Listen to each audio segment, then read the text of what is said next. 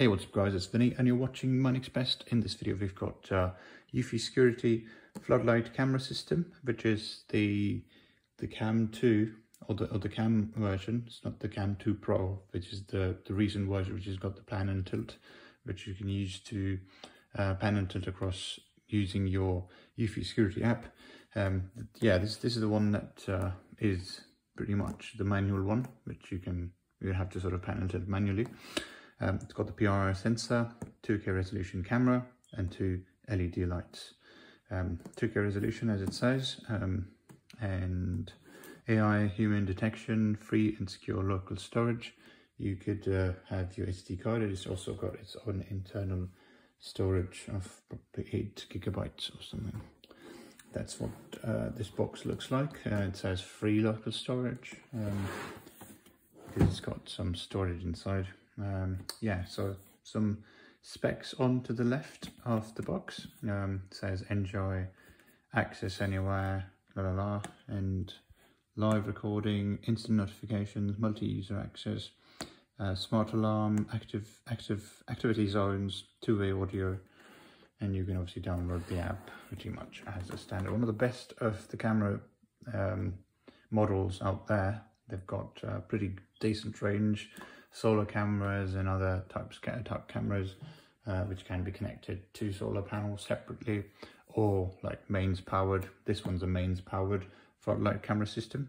And as you can see in this picture it shows how you'd have your um, camera system connected and the floodlights can sort of be adjusted in the direction you'd want.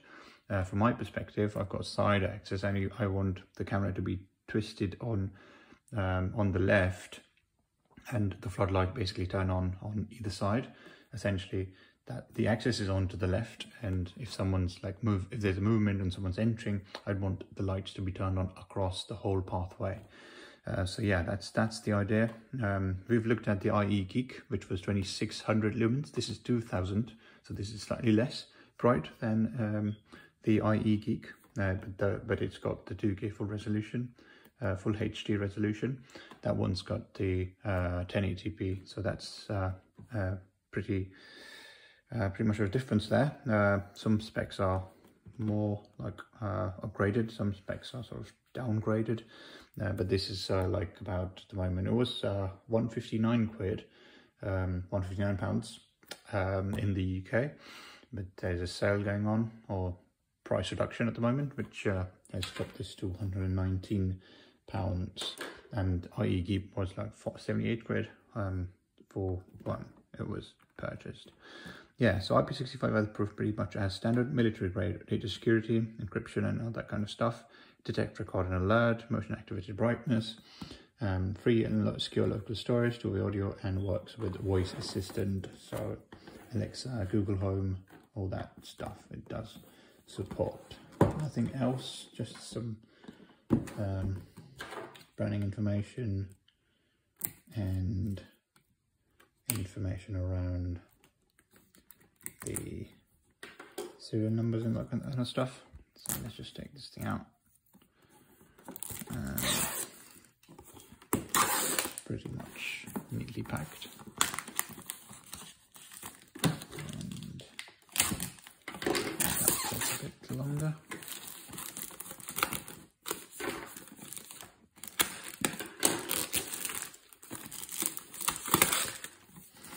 Right, so we've got uh, the cover off. It'll quick to take this thing out.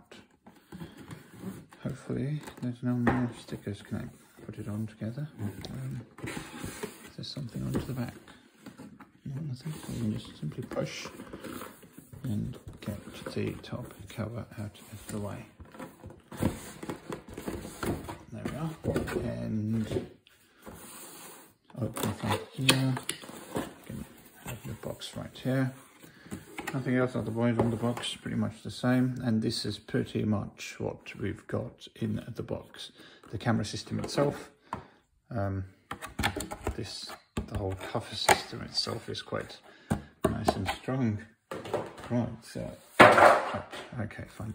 So it's a pretty hefty camera, pretty big. Um, I wasn't I was not sure if it would be that big, but yes, it's pretty big. Um, the light system is oh, stuck at the moment. oh, gone. Right, so how do I take that? Okay, let's just keep it as is for now. Um, let me just take this one out first. See if this comes off. No, it doesn't. Let's just leave it for now. Yeah, so at the moment, uh, yeah, this is pretty much how the camera system looks like. I'm going to take tear these uh, seals off of the camera. Um, and this is pretty massive, as you can see. It's a it's got a big sensor in the front and the lights are also movable so you can obviously twist and turn and move them around in a specific direction um, so what I've realized is uh, this camera as well is got like very limited range of motion although you can obviously do um, up to up down. Oh it's quite sunny now outside. Um, wow okay. So you can obviously do a little bit of uh, movement. Let me just fix the um, right okay.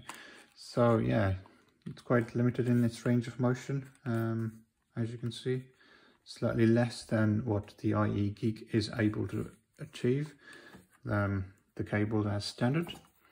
And the motion sensors like at the moment it's got this cover onto the top.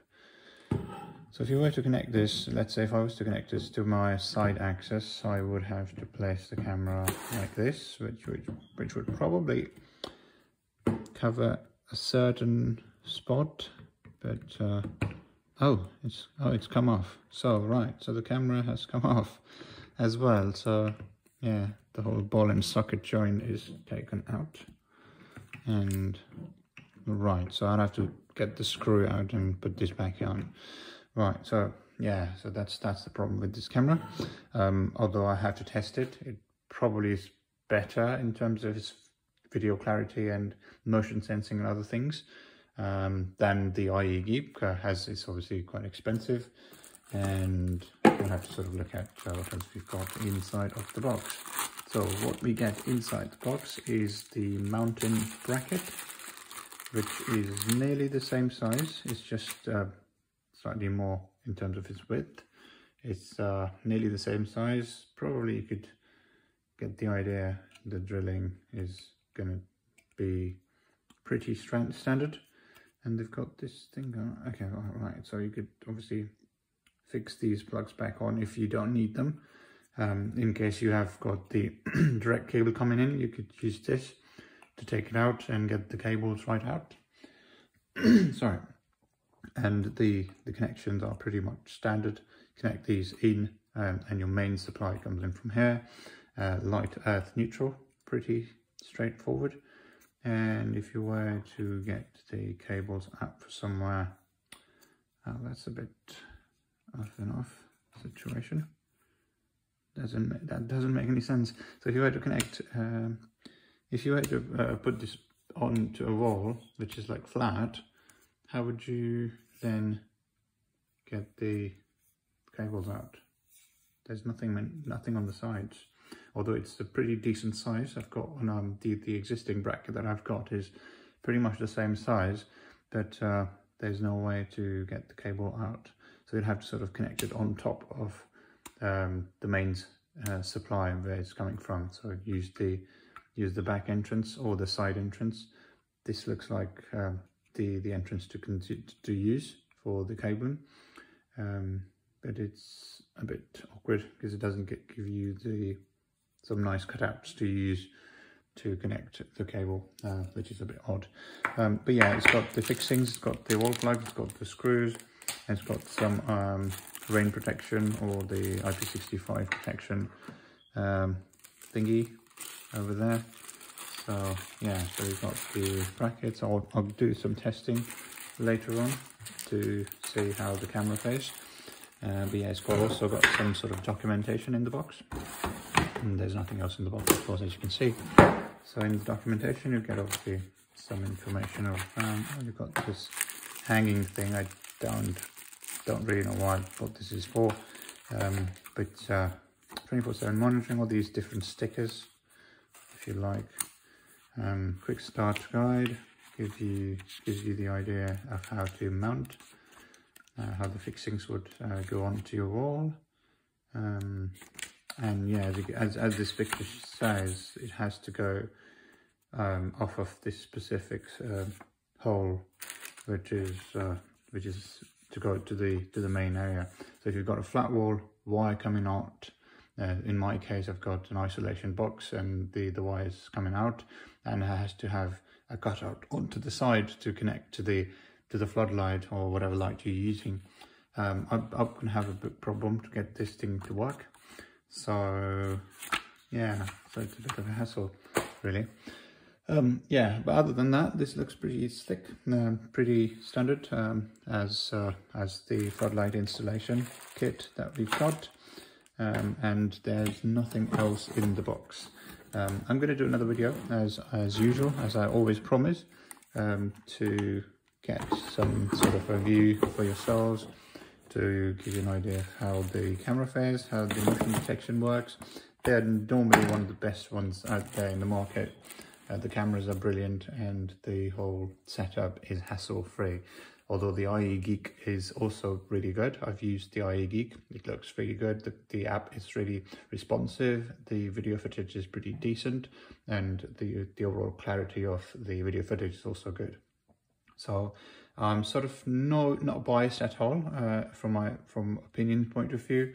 Uh, Eufy Security's got a 2K camera, which might be really better better than this one, but uh, the whole installation seems a little bit off uh, from what I've got. Um, but uh, yeah, we will find out and I'll le let everyone know, give you a better understanding of how we'd get through this installation. Yeah, so that's pretty much it for this video. Um, this was just an unboxing, just to give you an idea. This has come off, as you can see. It's got limited range of motion, as you might have gathered. Um, it doesn't go as far um, across um, to your left and right. Uh, pan and tilt, manual pan and tilt um, is, is just a bit from, from my perspective as well. Uh, but i have always loved Eufy security cameras. Um, yeah, so nothing else to present, uh, nothing else to share at the moment. If there's, if you've got any questions or any specific concerns, um, do let me know. I'll post them please post them in the comments section and I'll try and get back to you as soon as I possibly can. Like this video, share this video and subscribe to My Next Best. Take care, cheers, bye-bye.